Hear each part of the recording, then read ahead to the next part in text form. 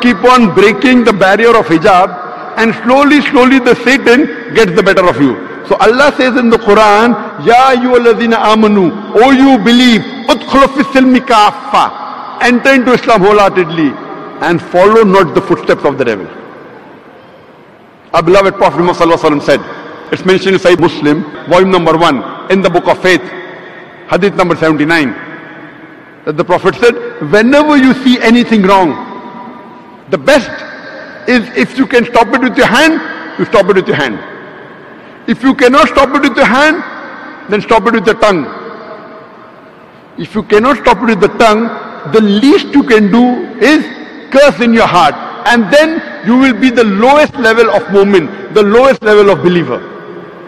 When you see something wrong, it's the duty of the Muslim. If he can, he should stop it with the hand, number one. If he cannot, stop with the tongue. Ask him to stop that activity. If he cannot, the least he can do is curse in his heart, then he is the lowest level of believer, the lowest level of mu'min. According to the Quran, dawa, conveying the message of Islam to non-Muslim is a further every Muslim. Allah says in Surah Al-Asr, chapter number 103, verse number 1 to 3, Wal Asr, by the token of time. Innal insana lafi khusr. Man is verily in a state of loss.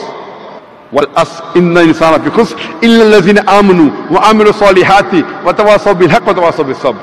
Except those who have faith, those who have righteous deeds, and those who exhort people to the truth, and those who exhort people to patience and perseverance. For any human being to go to Jannah, minimum four things are required according to Surah Al-Asr. Iman, that is faith, amal salihat, that is righteous deeds, watawasaw bil haq, inviting people to truth, and watawasaw bis sabr, inviting people to patience and perseverance. And Imam Shafi, rahimullah, he said that if this Surah Asr was revealed, it would have been sufficient for guidance for humankind. Imam Shafi rahimullah, he said that if this surah was only revealed, this one surah of three verses would have been sufficient for guidance for humankind. It is so powerful. So if you want to go to Jannah, it is first you should do all four things. You may be a very good Muslim. You may be praying five times a day. You may have gone for Hajj. You may be fasting in the month of Ramadan. You may be paying zakat. But if you don't do dawah, if you don't convey the message to the non-Muslims, according to Surah Al-Asr, you shall not go to Jannah. Only dawa is also not sufficient. All four are equally important. Iman, righteous deed, dawa, watawasaw bil and inviting people to truth and inviting people to patience and perseverance. If you don't do dawa according to Surah Al-Asr, you shall not go to Jannah. If Allah wants to forgive you and then put you in Jannah, if you don't do dawa, that's Allah's prerogative.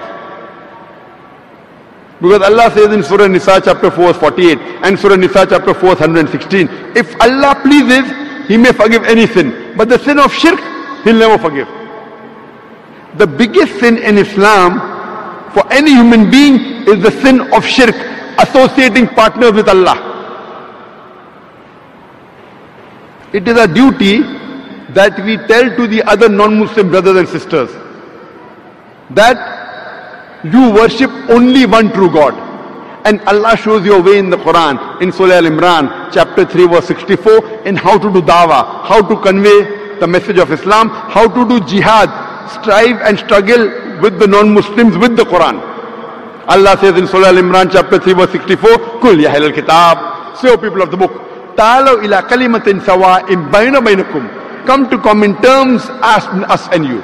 Which is the first term? Allah na'budu illallah. That we worship none but Allah. Wala nushrika bihi. That we associate no partners with him. Wala yattakhiz abadun abadan arbaban min dunillah. That we erect not among ourselves. Lords and patrons other than Allah. Fain tawallah. If then they turn back.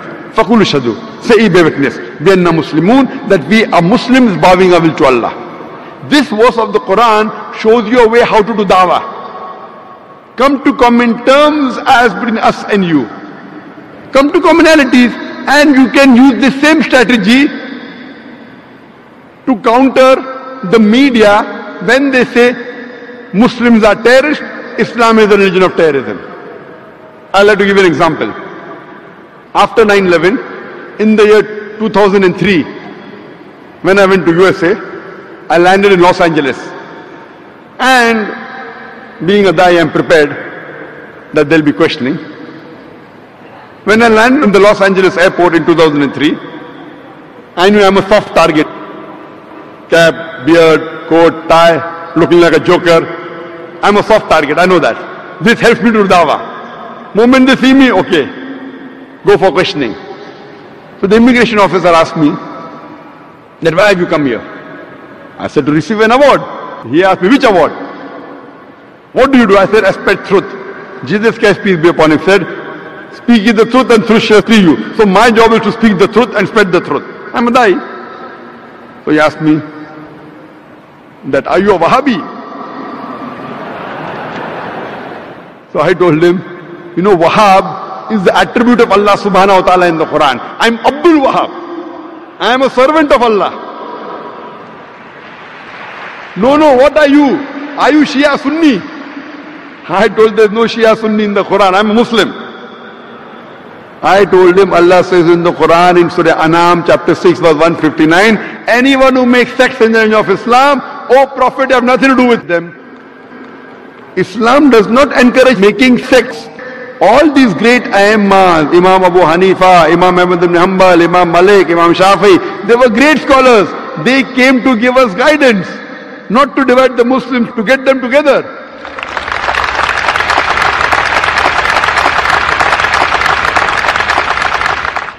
Then I was sent to the customs and I'm prepared. When they opened my bag, they found a DVD of mine, Terrorism and Jihad. You know, and on the DVD cover there was a gun, a photograph of a gun. So the custom officer asked me, that do you believe in jihad? I said, yes. Jesus Christ, peace be upon him, believed in jihad. He said you should strive and struggle. Even I believe in jihad, I strive and struggle. He said, no, no, no, no. What I mean, that do you believe in killing? I said that Jesus Christ said, take the sword and fight in Gospel of Luke. The Bible talks about killing in the book of Exodus, chapter number 22, verse number 18 to 20 that we should kill. The killing and fighting is also prescribed in the Bible in the book of Exodus, chapter number 32, verse number 27 and 28. It's also mentioned in the book of Numbers, chapter number 31, verse number 1 to 18. In the Gospel of Luke, chapter number 19, verse number 27. In the Gospel of Luke, Jesus Christ, peace be upon him, said, chapter number 22, verse number 36, take the sword and fight. The customer officer asked me, sir, sir, can we ask you one more question? So I just phoned my host who were waiting outside that don't worry, I'm just doing dawa here. I quote their scriptures to make them understand Islam. I have done this many times, but unfortunately in the past couple of years, because of my popularity, now moment I enter, they know my name, Zakir Naik, Dai. My name is already in the computer now, in advance. So nowadays I don't have that chance of doing dawa. You now because of Peace TV. And today the Western world, because I explain Islam so well, they don't like it. If we continue, then most of the people will end up liking Islam. So that's the reason they try the level best to see to it that I'm not able to convey my message. And it's very easy to do dawa, very easy. In India, I've got no problem with the Hindus. I tell them that if you read Mahabharata, Mahabharata is one of the sacred scriptures of the Hindus. If you read Mahabharata, there are more verses of fighting in Mahabharata than in the Quran. Multiple times more verses of fighting in the Mahabharata than the Quran. But the Hindu tells me, no, but you know that fighting is truth against falsehood. So I said, same fighting is in the Quran, truth against falsehood. Oh, then we have no problem with the Quran. So easy. If you read Bhagavad Gita, Bhagavad Gita is the most widely read book among all the Hindu scriptures. It is a guidance given by Sri Krishna, was considered as God by the Hindus, to Arjun in the battlefield. If you read Bhagavad Gita chapter number 1, verse number 45, 46, 47, Bhagavad Gita chapter number 1, verse number 45 says, Arjun, he keeps all his weapons on the ground in the battlefield. In the battlefield, he keeps his weapons on the ground and says, I would prefer dying unarmed rather than fight my cousins. If you know Mahabharata, it's a story about cousins fighting among themselves. The Pandavas who are five and Kauravas who are hundred. They're fighting among themselves. So Arjun says, I would prefer dying unarmed in the battlefield than fight my cousins. A few verses later, Bhagavad Gita chapter number 2 verse number 2 and 3. Shri Krishna Almighty God of the Hindus, he gives his advice. Oh Arjun, how could you be so impotent? How could you be so scared? It is the duty of the Kshatriya to fight. Who's saying that? Shri Krishna is telling Arjun that it is the duty of the Kshatriya to fight. Now, if I tell that Shri Krishna is telling Arjun to kill his cousins, it will be devilish. It's quoting out of context. What Krishna is saying that for the truth, even if you have to fight your cousin, no problem.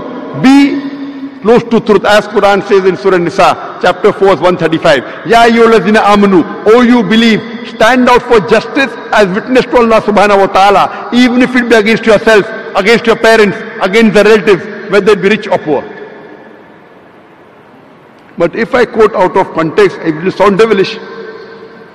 And many of the critics of Islam they quote the famous hadith of Muhammad sallallahu alaihi which I quoted earlier that our beloved Prophet Muhammad sallallahu alaihi said in Sahih Bukhari, volume number 4, book of Jihad, hadith number 46, that if a mujahid is killed in the battlefield, he will go to paradise. Otherwise, Allah will bring him home safely with rewards and war booty. If you read Bhagavad Gita, chapter number 2, verse number 37, Shri Krishna is telling Arjun, Oh Arjun, blessed are those people who get opportunity to fight. And if you die in the battlefield, you will go to Swarg, to paradise. Or if you come back safely, Allah will give you the booty of war.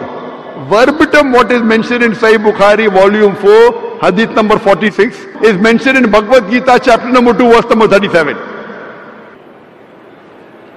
When critics like Arun Shourie take out mistake in the Quran, they have not read their own Hindu scriptures.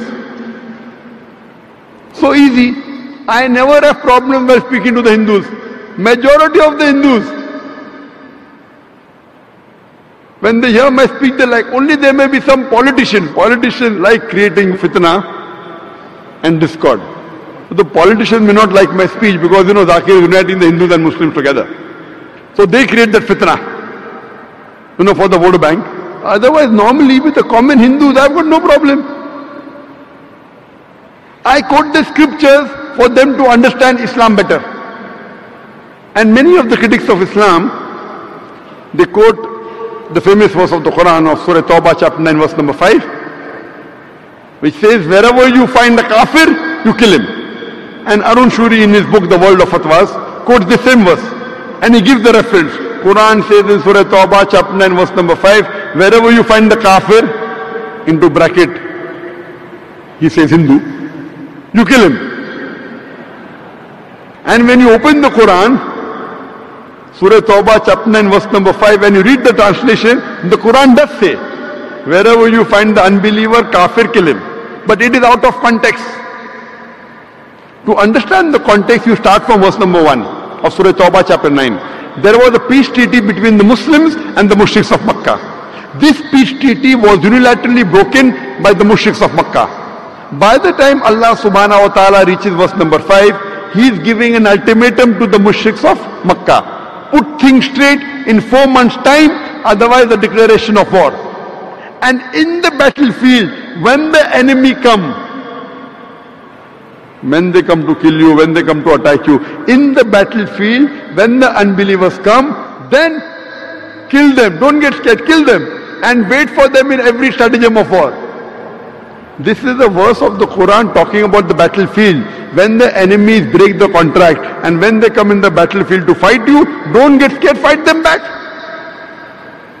And this is normal, any army general, to boost the morale of his soldiers, he will not say run away. He will say, when the enemies come, you fight them. That is what the Quran says. It is a verse in the battlefield. It's taken out of context. And Arun Shourie, after quoting verse number 5, he jumps to verse number 7. You know why? Verse number 6 has the answer to his sickness.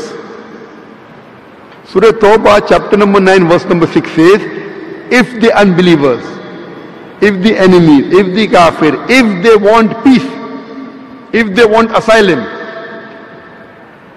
don't just give it to them, escort them to a place of security. If the enemy, if the unbelievers, if they want asylum, if they want peace, don't just give it to them, escort them to a place of security so that they may hear the word of Allah. Today, which army general will say this? Maximum will tell his soldiers if the enemy want peace, let them go. Here Quran said, don't let them go. Escort them to a place of security. And almost all the verses of the Quran, whenever it talks about fighting in the battlefield, the next verse say, peace is better. Whichever verse you pick up of the Quran. When it talks about fighting in the battlefield against the enemy, immediately next verse says peace is better. Even this verse says, if the enemy want peace, give it to them. And the Quran is very explicit. The verse which was recited by the Qari in the beginning of the program, Surah Maida chapter 5 verse number 32 says that if anyone kills any other human being, unless it be for murder or for spreading corruption in the land, it is as though he has killed the whole of humanity. And if anyone saves any human being, it is as though he has saved the whole nation. Here the Quran says, if any human being kills any other human being, whether Muslim or non-Muslim, any human being kills any other human being, whether Muslim or non-Muslim, unless it be for corruption, for spreading corruption, or for murder, it is as though he has killed the whole of humanity. And if anyone saves any human being, whether Muslim or non-Muslim, it is as though he has saved the whole of humanity. This verse of the Quran alone is sufficient to prove that Islam is against killing of any innocent human being, whether Muslim or non-Muslim.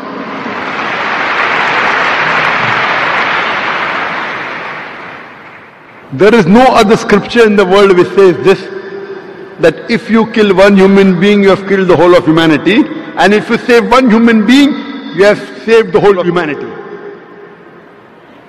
Islam is so clear and explicit. Killing of any innocent human being is totally prohibited. And I remember in Bombay in 2006, I gave a talk on is terrorism a Muslim monopoly? That's a different subject altogether. And that happened immediately after the train bomb blast in Bombay. And the situation in Bombay was tense. Here the police is telling me that why don't you give a talk to explain to the Muslims? And the Muslims are telling me, why don't you give a talk to the police to explain? Know, I'm on the edge of a sword now. In a sensitive situation, I gave a talk on is terrorism Muslim monopoly? And I gave my views. And during question answer time, there was a Hindu who came and told that if I was a Muslim, you know, thousands of Muslims were killed in Gujarat, thousands of Muslim women were raped, and later on there was a bomb blast that takes place in Bombay. More than 180 people are killed, and it was in the newspaper that Muslims are behind the bomb blast. So during question answer time, this Hindu gets up and says that if I was in the place of the Muslim, and if thousands of Muslims were killed, and thousands of, of women were raped, I would have done the same thing. I would have done the bomb blast in Bombay. And everyone clapped. I told him that what you're behaving is like a normal human being. It's a reaction. Thousands of Muslims are killed, and if thousands of Muslim women are raped, but I cannot do that. I being a Muslim, I cannot do that because my Quran, the last and final commandment in the Quran, does not permit me to kill any innocent human being. If some Hindus have done in Gujarat, it does not permit me to kill the other Hindus in Bombay. It is prohibited in Islam. Just because some Hindus did some mistake in Gujarat, I cannot harm the Hindus of Bombay. If you catch the Hindu in Gujarat who has done the mistake, give him to the law, give him punishment, I'm for it. But you cannot take revenge by killing Hindus in Bombay. It's not allowed in Islam.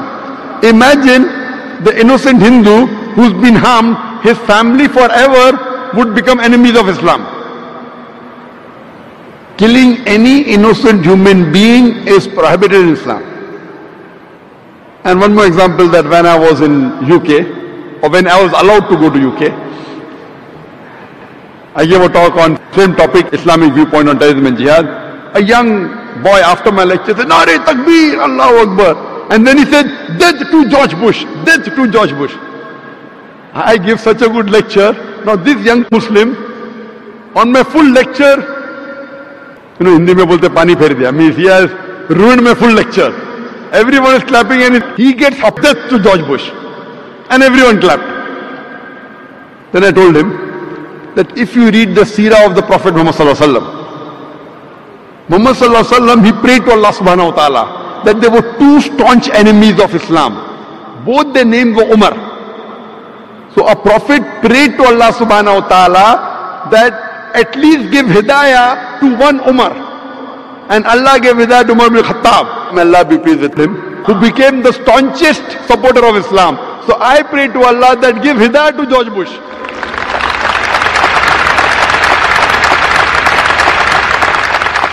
By killing him, we won't solve the problem.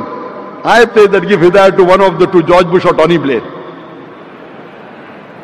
You read the seerah of the Prophet rather than be emotional. You know, Muslim, you're emotional. If you read the seerah of the Prophet, you know how did the Prophet deal with things. Allah says in the Quran in Surah Baqarah, chapter number 2, verse number 190, that fight against those who fight you, but do not transgress, for Allah likes not those who are transgressors. Allah says in Surah Baqarah, chapter 2, verse 193, that fight until there is no more tumult and oppression. Islam is against oppression.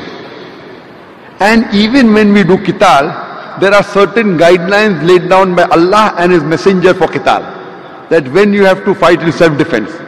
Almost all were in self-defense. There are guidelines laid down that when you fight, do not chop trees, do not hurt the women, do not hurt the old men, do not come in the battlefield, do not kill children, do not break down monasteries, do not destroy the temples.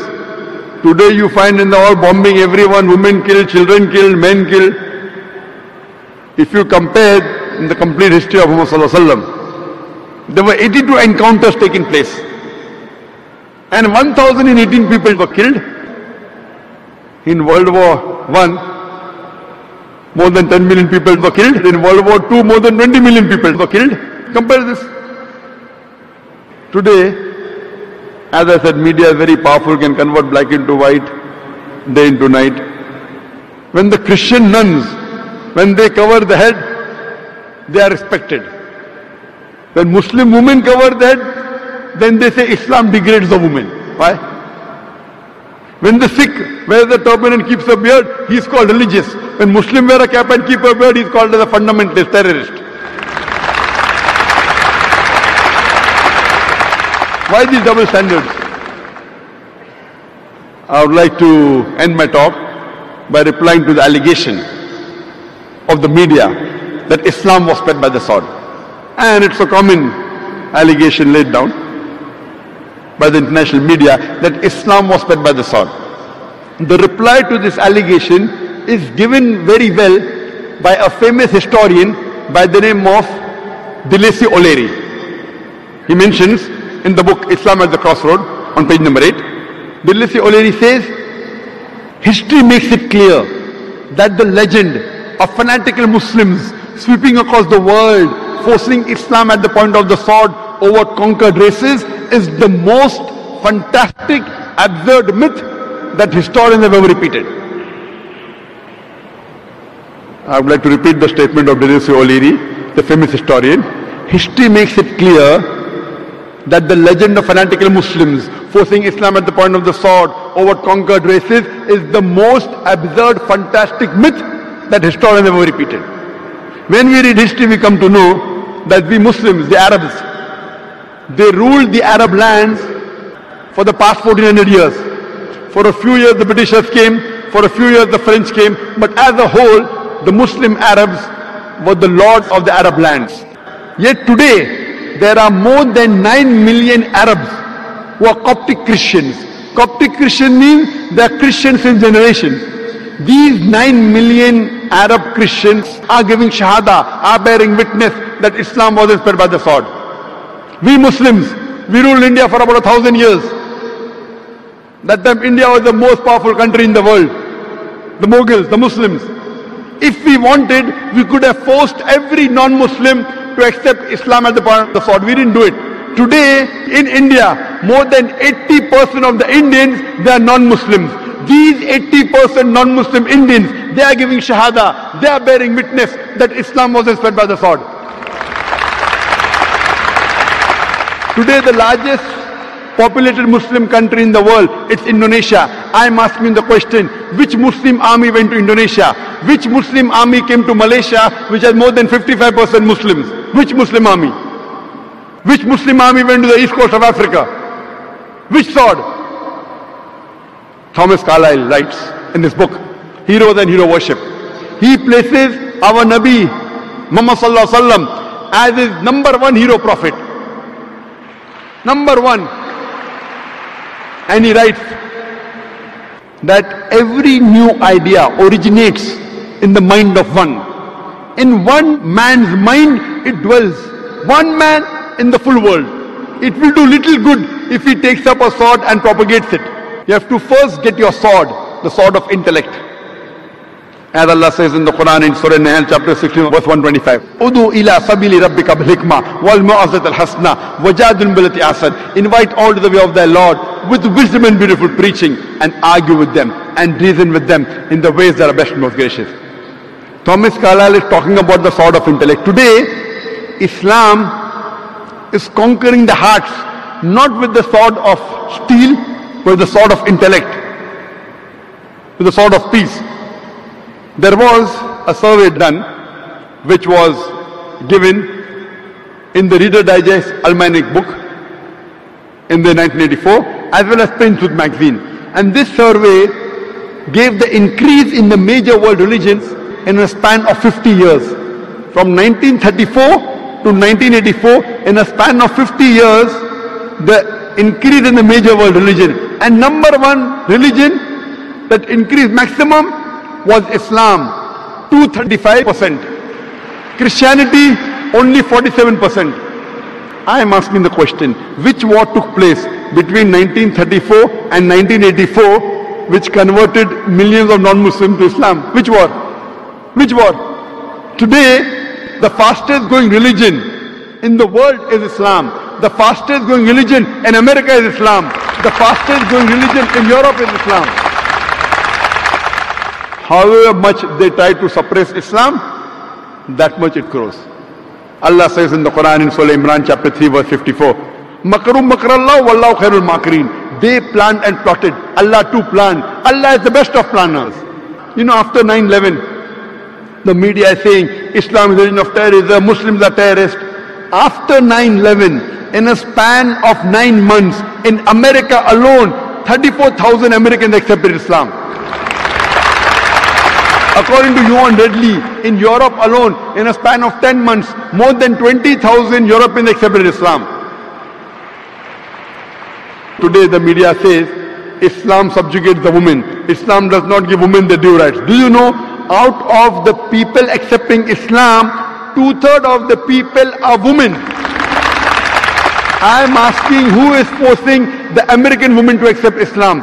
Who is forcing the European woman to accept Islam? Allah promises in the Quran in no less than three different places. Allah promises in Surah Fatah, chapter number 48, verse number 28. In Surah Tawbah, chapter number 9, verse number 33. And Surah Saf, chapter number 61, verse number 9. هو الذي أرسل رسوله بالهدى والدين الحق ليظهره على الدين كله. That Allah has sent His messenger with the religion of truth so that it will prevail over all the other religions, over all the other isms, whether it be Christianism, Judaism, Hinduism, Buddhism, socialism, atheism, modernism. Islam is destined to supersede all, kulli, master them all. How much the Mushrikun like it? And the ending of the other verse is different. Allah says, هو الذي أرسل رسوله بالهدى والدين الحق ليظهره على الدين كله وكفى بالله شهيدا. Allah sent a messenger with guidance and the religion of truth so that it will prevail over all the other isms, over all the other religions, whether it be Judaism, Christianism, Hinduism, Buddhism, socialism, modernism. Islam is destined to supersede all. Kulli, master them all. And enough is Allah as a witness. I would like to end my talk with the quotation of Dr. Adam Pierson. Dr. Adam Pierson said